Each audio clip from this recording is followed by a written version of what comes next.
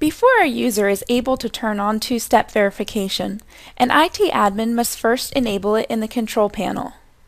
Admins can enable two-step verification by navigating to Advanced Tools. Then, locate the Authentication section and select the checkbox to allow users to turn on two-step verification. Your changes will automatically be saved.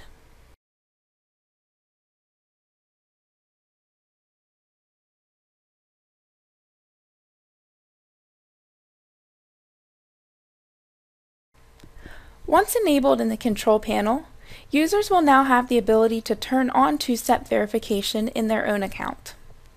To do so, go to your account settings and then select Security. You will notice that two-step verification is off. To turn it on, simply click Edit.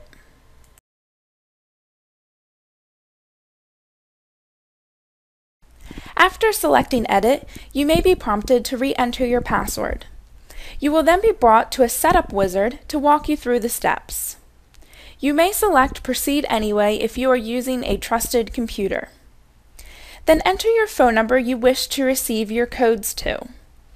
Also, make the selection to receive the one-time code by voice or text. After you've completed the four steps of the wizard, you will confirm your two-step verification. You will be brought to a screen where you have the option to set passwords for your applications and mobile devices. You can easily browse through the screen to back up your phones, passwords, or print out your backup codes.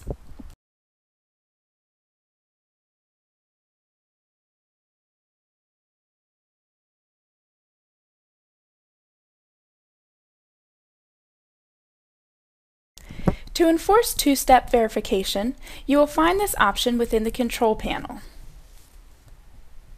You will then navigate to the Settings. Once in the settings, select Security.